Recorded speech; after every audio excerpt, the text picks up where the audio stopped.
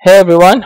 Um, so let's uh, start with the uh, deployment of the Palo Alto on the AWS. Now before we begin, we need to make sure we have a couple of things that uh, need to be taken care here. So first of all, um, you have to decide which uh, region you are gonna launch your uh, resources in, right? So I'm gonna choose uh, Northern Virginia. Now, now you can choose any other region so that you have to choose on the beginning itself right? You, you might use asia pacific mumbai region i mean the reason being it, it would be closer to you and you would face low latency. And that totally depends on where you have the dc correct? Where you want to set up the dc and uh, where you think your clients are basically the user. So uh, the point of creating a network is ultimately hosting an application correct? And then you have to keep in mind uh, the most of the users should be around near that. Now aws has lots of services which could um, uh, which can be helpful to uh, achieve such a such, a uh, task. But for us i'm gonna create uh, create the resources in northern virginia us east one. Okay? So first thing we need to do is we need the vpcs vpcs are like a domain. Okay? So by default you should have one vpc um, okay. Uh, as you can see this is my default VPC so I don't need it. As you can see on the tenancy it is saying default. So what I can do is I, I don't need it. I can go and delete this VPC so I'll click on this and uh, uh, delete the VPC okay this is permanently and cannot be recovered. The following resources will also be permanently deleted. So what are the resources? The internet gateways the security groups everything. So i want to do this because um, uh, the thing is i want to have a fresh environment right? So that uh, you guys don't um, have to worry about uh, having something which i don't which i have and you don't have so that we should be having the same things right okay if you delete this default vpc you can't launch instances in this unless you specify a subnet in another vpc or create a new default vpc fine. So uh, to confirm deletion type delete default vpc in the field. So i am fine. I know everything will be deleted. So i'll just copy and paste this here and delete.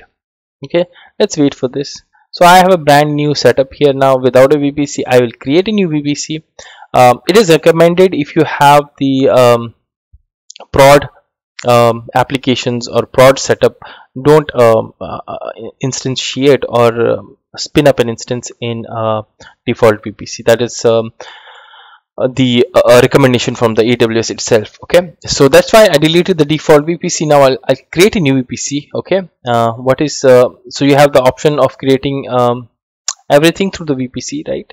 You have the what do you say the IGWS routing table, everything, but I will show you one step by step so I'll say only VPC and then I will name the VPC as ZB networks. Let's say VPC okay? And then the CIDR there I'm going to use is 192.168.0.0 slash 16 but I will be creating more subnets on this. And let's keep everything like this and create. So this this tenancy default is different from what I showed you earlier right? So if I go to the VPC and if I click on this now if you check the uh, what do you say? Huh default tenancy right? Default VPC it says no. While as if you have the default VPC this will say yes. Okay so this is done. Now we have to create uh, subnets okay?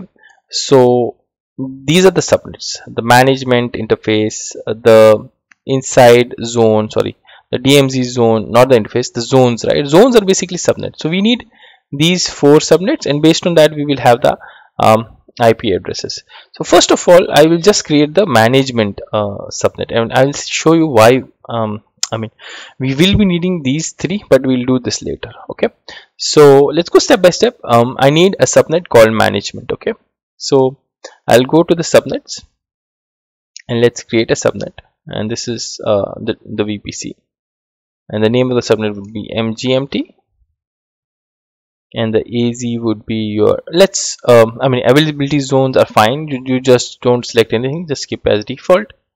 And the CIDR block is going to 192.168.1.0 slash 24 okay. That's all i need. Oh, and I'm creating a VPC fine. This is my VPC this is the subnet. I want to check the route table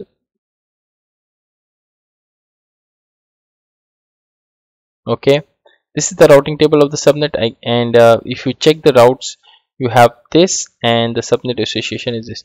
Now I need a next step is that if, if you can see here the subnet has no public uh, access right? This has this is just for the local uh, access within the uh, VPC now so because this is going to be my management interface and I need to manage my firewall from public right? Uh, public internet so uh, we need a internet which is IGW on this uh, subnet.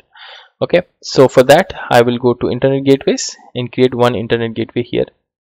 Let's say ZB networks IGW this is what I want. Okay?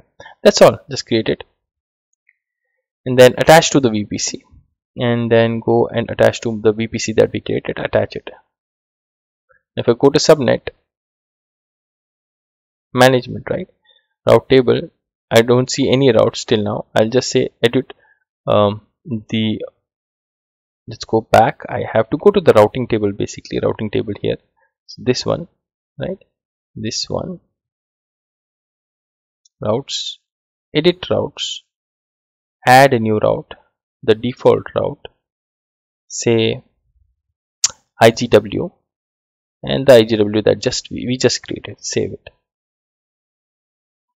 Okay so anything that we create or connect to this uh, subnet will have the internet connectivity through the IGW and we can have the um, what do you say the static IP also enabled by default. Um, so that's uh, the first thing that we need to do.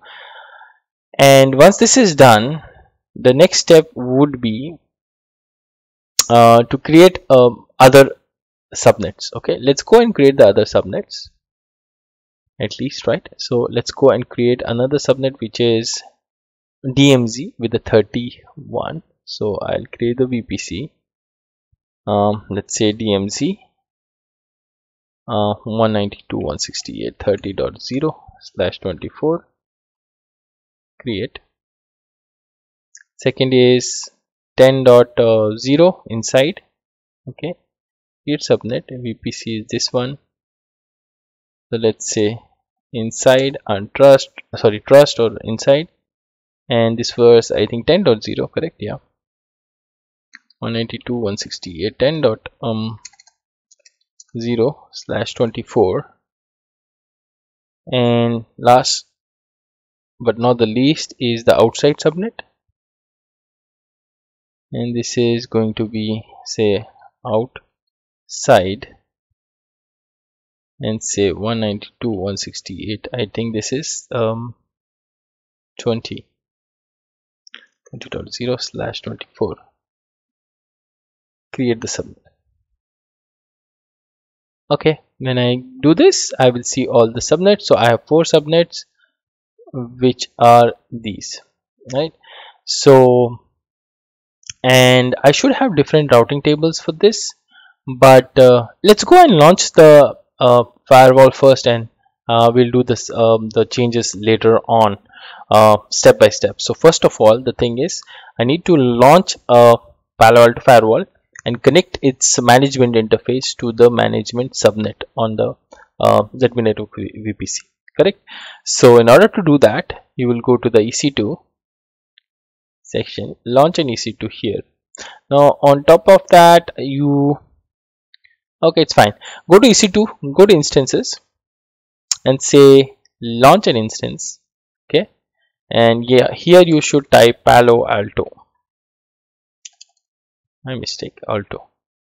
So if you uh, search here palo alto um, okay so this is searching within uh, our this right? So i have to search here on the marketplace part Palo Alto and uh, on the AWS uh, marketplace AMI we should see lots of options here. Uh, just give it some time.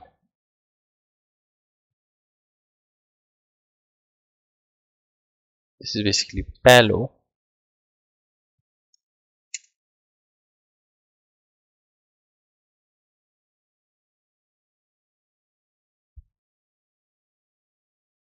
Click on here okay on the marketplace. And let's say only the publisher. Mm -hmm. so this the first one is the panorama management server. We don't need it. We need the this one pan os version 11 next gen firewall with threat prevention. You have other uh, options also. Uh, so this is next gen firewall with the core security pay as you go model subs. And this is also pay as you go okay then you have bring your own license as I was saying. And this is also with the 24 par 7 support. This will basically have um, so if you want to see uh, the details you can just click on this. So let's say 24 par 7 support with the support. Then we will go for the pricing.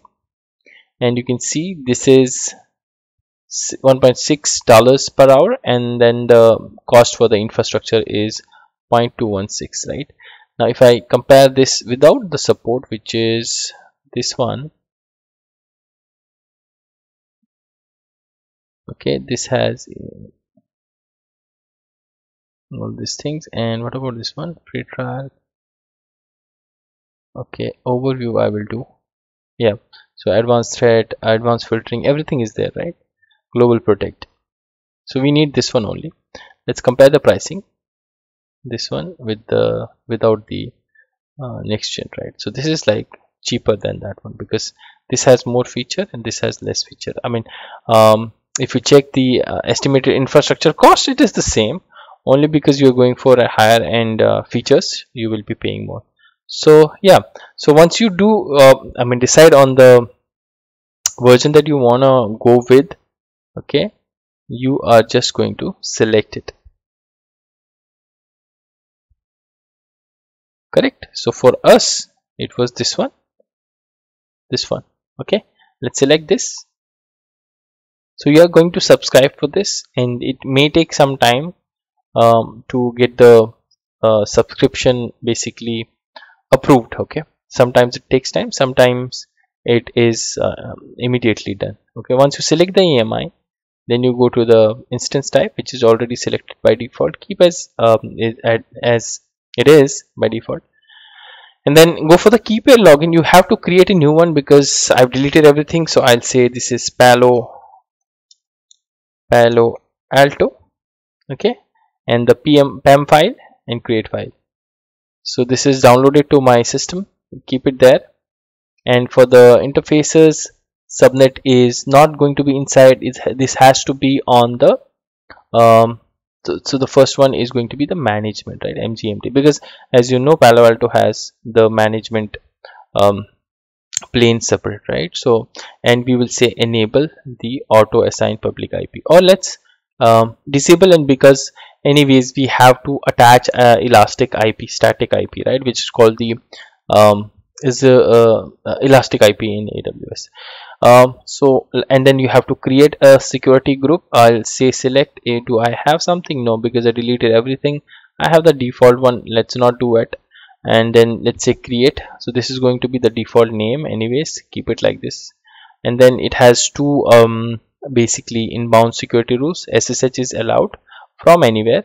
And then HTTPS is allowed from anywhere. So this is these are the two things that as of now we need so we will SSH to the CLI and also we will access the GUI using the HTTPS on the management. Rest everything is fine. I'll just click on on the launch.